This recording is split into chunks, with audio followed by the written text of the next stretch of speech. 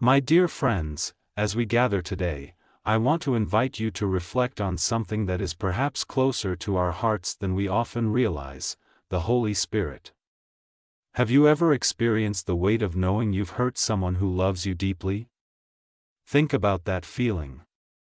Now, magnify it and imagine how the Holy Spirit feels when our choices grieve Him. Scripture, in Ephesians 4 verse 30, gives us a heartfelt plea Do not grieve the Holy Spirit of God, with whom you were sealed for the day of redemption. This verse is not just a distant theological statement, but a personal cry from God Himself. We often forget that the Holy Spirit is not some abstract force, He is a person, deeply invested in each of us. He has feelings, emotions, and an unbreakable love for you. He knows every corner of your heart and still chooses to dwell within you.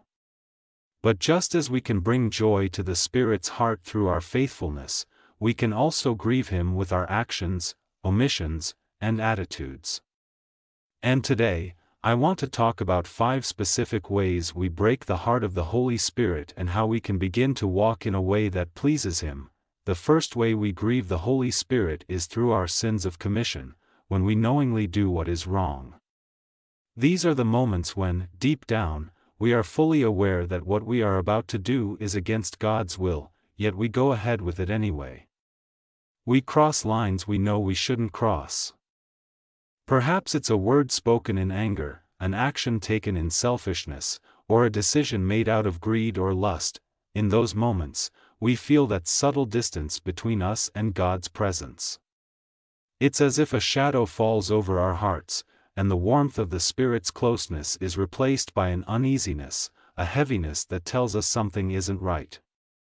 My friends, the Holy Spirit is so tender, so loving, that even our smallest acts of disobedience grieve Him deeply.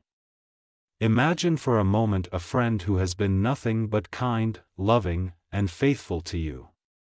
How much more does it hurt to know you've wounded them? But here's the beauty of our relationship with the Spirit just as we can grieve Him. We can also bring Him joy. Every act of faithfulness, every step of obedience, no matter how small, delights his heart. C.S. Lewis once wrote, If we let him, he will make the feeblest and filthiest of us into a creature dazzling, radiant, immortal, pulsating all through with such energy and joy and wisdom and love as we cannot now imagine. What a glorious truth! The Spirit within us seeks to transform us, but we must be willing to let Him in, to yield to His guidance, and to walk in step with His ways. The second way we grieve the Holy Spirit is through the things we fail to do, what the Bible calls sins of omission.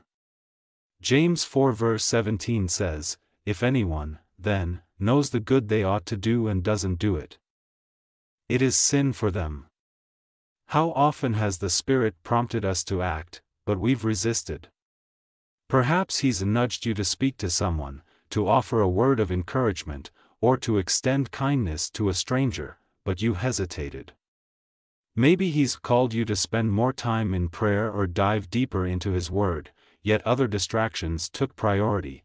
These moments of hesitation may seem small, but they break the heart of the Holy Spirit because He knows the beauty that could come from our obedience.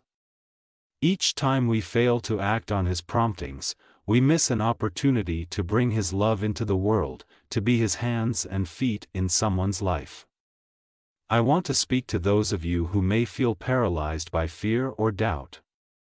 Sometimes, we confuse our own anxieties with the voice of God, and we worry that we're not hearing Him correctly.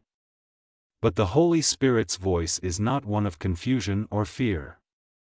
It is gentle, steady, and filled with love.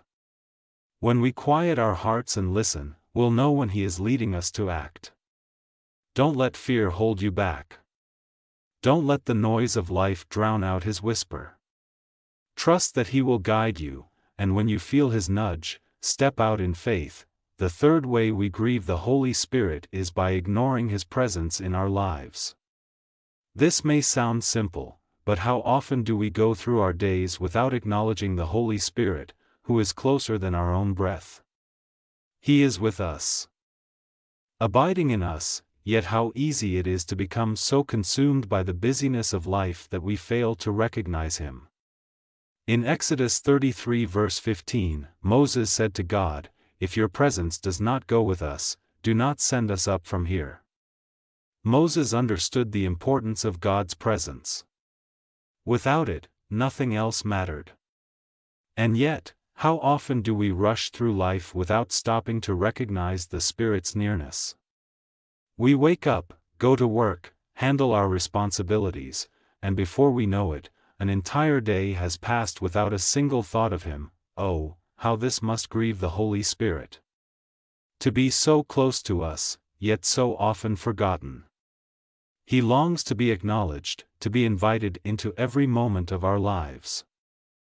Don't let the pace of life cause you to miss His presence. He is with you in your moments of joy, in your moments of sorrow, in the mundane tasks, and in the grand moments. Take time each day to pause, to listen, to simply be aware of His nearness. Another way we grieve the Holy Spirit is by allowing division among us as believers. Jesus prayed in John 17 verse 21, that all of them may be one, Father, just as you are in me and I am in you. The Holy Spirit desires unity within the body of Christ, but how often do we allow our pride, our ego, or our personal preferences to cause division? We get offended, we hold grudges, and we let small disagreements fester into bitterness. And all the while, the Holy Spirit, who dwells in each of us, is grieved by our lack of unity. Now, let me be clear, there are times when division is necessary. If someone is teaching heresy or living in unrepentant sin, we are called to stand for truth and holiness. But more often than not, the divisions we experience are not over fundamental issues of faith. They are rooted in pride, in our desire to be right, or in our inability to forgive. The Holy Spirit is kindred within each of us. He loves the Spirit in your fellow believer just as He loves the Spirit in you. When we allow division to take root, we are not only grieving the Spirit within ourselves, but we are also grieving the Spirit in others. Unity is a mark of maturity, and the Holy Spirit longs for His church to be united in love, not divided by ego or offense. Finally, we grieve the Holy Spirit when we live in fear or doubt, rather than in faith. Hebrews 11 verse 6 tells us, without faith, it is impossible to please God. When we lack faith, we are essentially saying to the Holy Spirit, I don't trust you. I don't believe that you are able to handle this situation. Whether it's fear of the unknown, anxiety about the future, or doubt in God's provision, a lack of faith grieves the Spirit because it reveals a heart that is not fully relying on Him. But my friends, hear me on this greater is he who is in you than he who is in the world. The Holy Spirit within you is stronger than any fear. Stronger than any doubt, stronger than any obstacle you may face. C.S. Lewis once said, The Holy Spirit will not be shut up in one part of a man and leave the rest to look after itself. He wants the whole man and will not rest until he gets us through and through. The Spirit within you longs to empower you, to fill you with courage, to strengthen your faith. But you must be willing to let go of fear, to stop relying on your own strength, and to trust fully in the one who holds your life in his hands. When you step out in faith, you bring joy to the heart of the Holy Spirit, and you experience the fullness of his power working in and through you. So, how do we live a life that brings joy to the heart of the Holy Spirit? Rather than grief, it starts with love. Not a love motivated by duty or fear of punishment, but a love that flows from the knowledge of how deeply the Spirit loves you. He is for you, not against you. He desires to see you grow, to see you flourish, to see you live a life that reflects His glory, live each day with an awareness of His presence. When you feel that nudge to speak or act, do it without hesitation. When you sense his conviction, repent quickly and return to him. When you see division creeping into your relationships, choose forgiveness and unity.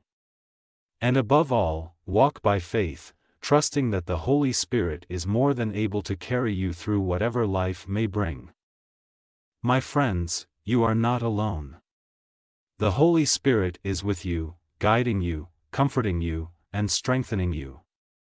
Let your life be a reflection of His love and His power, and you will bring joy to His heart. And in doing so, you will experience the peace, the joy, and the fullness of life that only He can give. Let's close with a prayer, asking the Holy Spirit to fill our hearts, to guide our steps, and to help us live in a way that pleases Him. Amen.